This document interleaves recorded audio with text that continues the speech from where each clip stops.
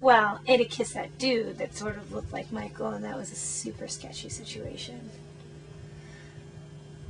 I don't know. Did they? I don't know. Did they affect my life? I don't know. I don't think they did. I'm fine.